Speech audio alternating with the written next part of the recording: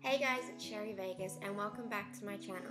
So today I'm going to show you how to do a double layered resin art tutorial.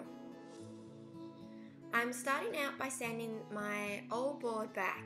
So if you watch my channel you'll know that I've did this board previously and it got knocked over when it was drying so all the resin rippled and it became really textured.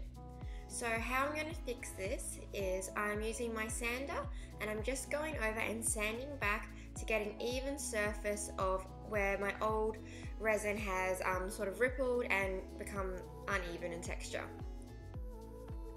I've just sped up the sanding part because let's face it, it's not that interesting.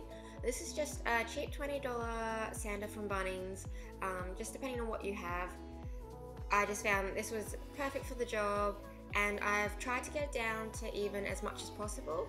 Now if you wanted to keep the original artwork you can just put a clear coat back on top of the resin and that will go into all the little cracks and you won't even notice that um, you've had to sand it back.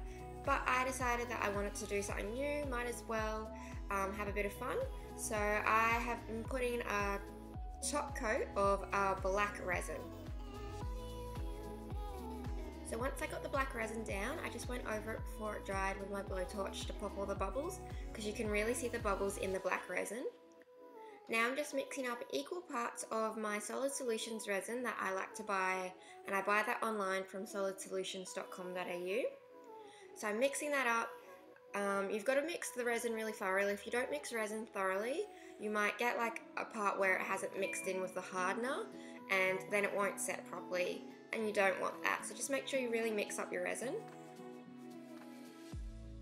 With a little bit of my clear resin, I'm just pouring that over my board before I add my white. The reason why I'm using a white and a clear is if you use them together and pour them at the same time, they sort of layer over each other and you can create a really cool smoke effect. With my fingertips, I'm just mixing in the white and clear resin. This is how you start to get that smoke effect that I was talking about and it's also quite fun so just do it really gently and really cautiously. You don't want to over mix it. I also want to mention that the bottom layer of black resin I let dry for 24 hours until it was okay to touch before I've applied my second coat of resin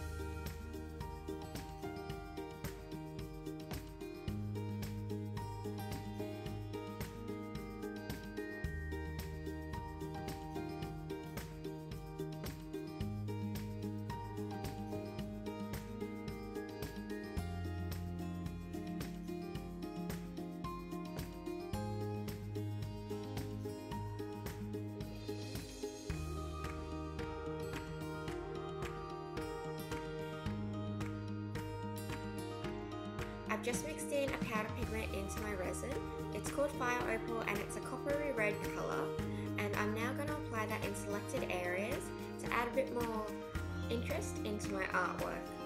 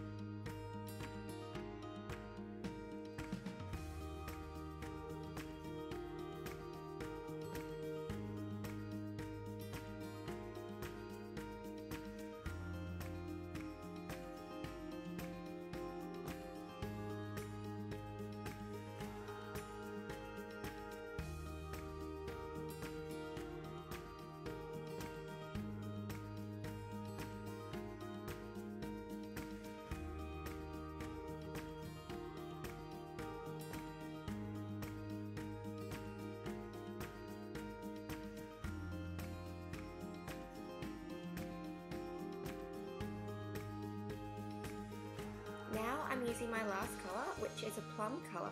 I bought this pigment paste from Artisue's. I really like them. I've tried out a few of her tints and pigment pastes. Highly recommend them. She's also uh, Australian based and I got really amazing cells from this pigment paste at the very end of the artwork when it started to dry.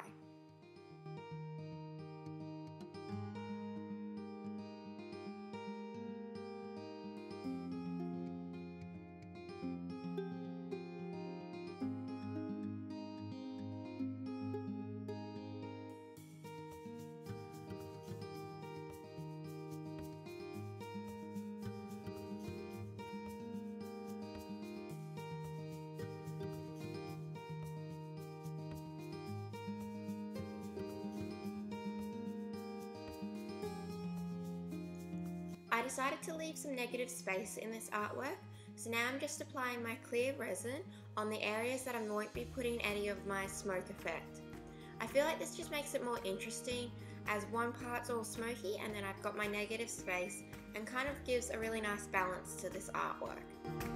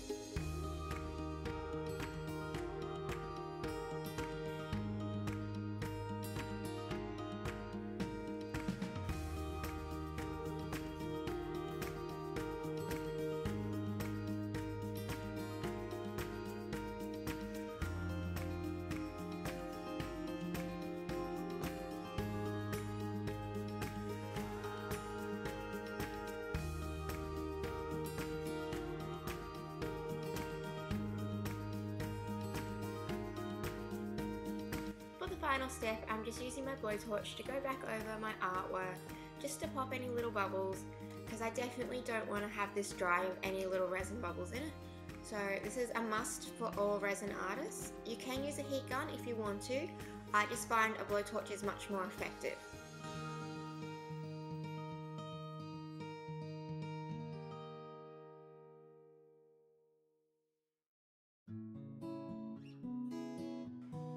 Really happy with how my resin artwork turned out and as you can see I got some amazing cells and they got even bigger when the canvas fully dried. If you liked my resin art tutorial give it a big thumbs up and if you're new make sure you subscribe.